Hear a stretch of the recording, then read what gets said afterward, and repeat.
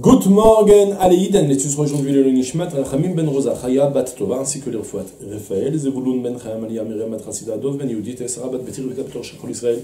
Si vous souhaitez, vous aussi dédier une prochaine étude de Mishnah pour la 5 minutes éternelle, nous étudions la Sechet Bechorot, Bagdalet Mishnah Lef. Ad Kama Israël Chayavim, Leitapel, Babechor, Babehema Daka, Ad 30 Yom, Ou Bagassa, 50 Yom, Rabbi Yossi Omer, Badaka, Shlosha Chodashim.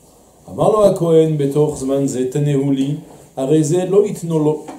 ואם היה בעל מום, אמר לו תן לי שאוכלנו, מותר. בשעת המקדש, אם היה תמים, אמר לו תן לי שאקריבנו, מותר. הבכור נאכל שנה בשנה, בין תמים בין בעל מום, שנאמר לפני השם אלוקיך תאכלנו שנה בשנה. On traduit directement Ad kama Israël chavim leitapel babechor. Jusque quand le Israël qui a eu un bechor doit-il s'en occuper, le nourrir, le faire paître, jusqu'à qu'il va le donner au Kohen? En d'autres termes, je suis un Israël, moi, je suis pas Kohen, et j'ai un bechor, un nouveau-né qui a eu euh, ma vache, Amiba, euh, un, un premier-né, ou encore ma brebis, ma chèvre. Et la question est de savoir à partir de quand je le donne au Kohen? Quelle est la limite de temps? Je peux patienter deux ans, je dois le faire immédiatement, le premier jour, le premier mois, depuis quand? Alors la Mishnah m'enseigne comme ça. Babe Madaka, Shloshim Yom, pour le menu bétail, 30 jours, ou Bagassa, Chamishim Yom. Et pour le gros bétail, les vaches, là-bas tu devras attendre 50 jours. Rabbi Yossi Omer, Rabbi Yossi, lui, nous dit non, il dit autrement, il dit Badaka, Shlosha Chodashim, pour le menu bétail, c'est il faut attendre 3 mois. Soit en fait on a trois mesures, il y a eu pour le menu bétail 30 jours ou 3 mois qui ont été exprimés par Tanakam Rabbi aussi, c'est-à-dire auparavant, je dois moi me m'en occuper, le, nourrir, d'accord, veiller à le donner au Kohen que après soit 30 jours, soit après 3 mois, et pour la gassa, pour le gros bétail, alors je dois attendre 50 jours. D'où on déduit ça. Le Barthénora nous rapporte un pasouk, on n'a qu'à le lire directement, c'est dans Parashat Mishpatim, Perik Rafalef, et Chafbet plutôt, pasouk, Chafret, il y a un pasouk qui me dit, Meleatecha vedim achalo teacher, bechor banecha titenni, ken tase leshonocha letzonecha, shivat yamim yeh im imo, bayom hashmini titenoli. Je traduis directement, c'est un pasouk qui m'ordonne, qui ordonne au Ham Israël de donner les, les, différentes taxes au Kohen en temps et en heure, d'accord, et comme il faut, il y a tout un rituel.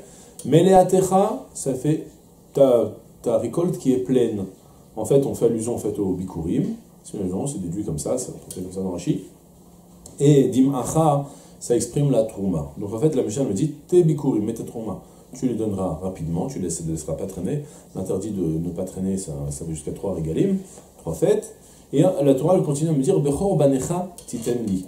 Et le Bechor de tes enfants, le premier, le premier de tes enfants, tu me le donneras, c'est-à-dire qu'on fera, le, on fera le pidion à Ben, on donnera l'argent au Kohen. Et après, la, Torah continue à me dire Et tu feras ainsi pour ton taureau et pour ton somme. Pour ton taureau et pour ton somme ton taureau, euh, ton, taureau, donc ton, ton, gros bétail, et ton son, ton menu bétail. Maintenant, il y a une chose de sûr qu'on connaît, c'est les bikurim et les, euh, et les enfants qui naissent. Pidyon Ben, vous savez bien, on attend 30 jours. Plus précisément, ça vous intéresse, Kaftet Yudbet Tashtzag. 29 jours, 12 heures, et Tashtzag, ça fait 793 sur 1180, bon bref, on, on, on aura l'occasion d'y arriver. D'accord, en fait, en 30 jours pour faire le ben. Et par rapport au bikurim, alors, en général, la tvoa, les récoltes, on les cueille, les récoltes de blé, on les, on les cueille à, avant Pessah, juste avant Pessah, et on ne peut les apporter que euh, après Shavuot. On peut commencer à les apporter au Beth que après Shavuot. D'accord? Et après, là-bas, ça commence les bikurim. On a tout le rituel des bikurim, ça dure depuis, jusqu'à, depuis après Shavuot jusqu'à Sukkot. Donc, il s'avère que, regardez, on a pour les enfants, je t'ai dit 30 jours. Pour les bikurim, tu attends depuis le moment où ta récolte, elle est, elle est prête, tu la, tu la, elle est prête à être consommée, malgré tout, tu attends encore 50 jours pour la consommer. J'ai dit là, c'est super, j'ai dû là deux mesures. Une mesure la, une, Torah m'a dit, t'attends 30 jours, une autre mesure, la Torah m'a dit, t'attends 50 jours. Dans l'ordre, le passo qui m'a d'abord évoqué les 50 jours et après les 30 jours. On continue le passo d'après, le passo qui me dit Et tu feras ainsi pour ton gros bétail et pour ton menu bétail. Gros bétail, le premier pour le premier, le deuxième pour le deuxième. Gros bétail, comme les bikurim, 50 jours. Et menu bétail, comme, le, comme ton fils, 30 jours. D'accord? C'est de là qu'on déduit donc les, deux avis, l'avis de Tanakama, la différence entre Behemadaka et Behemagasa. Rabbi aussi, lui, il a un autre problème technique. Rabbi aussi nous dit, ouais, mais il y a un petit problème. C'est que le, menu bétail, apparemment, je, suis un peu étonné parce qu'il est écrit dans le partenaire, en tout cas, il nous dit qu'il est plus faible, il est plus euh, feignant et moins, moins robuste pour manger tout seul. Il a besoin d'être beaucoup aidé. Or, si tu vas le donner au Cohen en l'état, il risque de mourir. Donc je t'impose à toi, Israël, que tu l'élèves pendant trois mois, le temps qu'il devienne fort, qu'il a ses dents qui vont commencer à être un peu plus dures, qu'il va être capable de manger tout seul, et seulement après tu le donneras au Kohen. Voilà, on a fait la première partie de la Mishnah, et on continue. à Kohen, Betor Ze Tenehuli. Maintenant, on a été, on va prendre le gros bétail par exemple, j'avais 50 jours. Le Kohen, après deux semaines, il est venu me voir, il dit Donne-moi, donne-moi, je m'en occupe. Je vais moi l'élever. C'est vachement gentil de ma part, franchement. Au lieu que je me coltine un un taureau à m'en occuper, à le faire sortir et tout ça, c'est super, le Kohen il veut le prendre tout de suite. Ça m'intéresse, j'aimerais bien lui donner. Et eh bien la Mishnah m'enseigne, ben non. non tu n'auras pas le droit de le lui donner. Pour quelle raison? Il y a quelque chose de très grave, il y a un interdit d'être un Kohen à Messaïa à Bevet à Granot. Un Kohen n'a pas le droit, n'a pas le droit de venir euh, faire, rendre différents services au Israël pour que l'Israël lui donne à lui la trouma à lui spécialement plus qu'à un autre. À venir spécialement, plutôt, à venir spécialement l'aider à engranger sa, ses, récoltes pour qu'il lui donne une part, ou bien à venir élever les, le, taureau et la vache, le, d'accord, le béchor. Et c'est ce qui se passe. Arrête. À entretenir un animal, c'est beaucoup de fatigue et de prise de tête. Beaucoup d'efforts, beaucoup de dépenses. Le va dire, tu sais quoi, viens, viens, je t'allège de tout ça, je le prends moi, je m'en occupe, je l'élève, t'inquiète pas eh bien, dans ce cas-là, ça s'appelle qu'il est en train de venir me, me soudoyer pour que je lui donne les, les, donc les, ses et là c'est interdit, donc pas le droit, on pas, il n'a pas le droit de, pas le droit de le lui donner. À une exception toutefois, Imaya Baalmoum, si le taureau, maintenant le nouveau-né, était un Baalmoum, il avait un défaut, donc il pouvait être consommé, et quoi? Amarlo donne-le-moi et moi je veux le manger tout de suite. Ça y est, pourquoi on va attendre? Donne-moi tout de suite, je le mange tout de suite. Alors là, bien sûr, bien évidemment, moutard, c'est permis. Parce que même si ça m'arrange que j'ai plus besoin de me, le traîner, d'abord, je peux le donner à n'importe quel collègue quand je veux, pour qu'il mange tout de suite. Et lui, il va pas se mettre à dépenser et à faire des efforts pour entretenir ce béhor, puisque dès qu'il va le recevoir, il va le manger. Idem encore, ou Bishat Amigdash, à l'époque du, à l'époque du Bet Imayatamim, donc le taureau nouveau-né, premier-né, il était tamim, il était parfaitement constitué, apte à être un korban.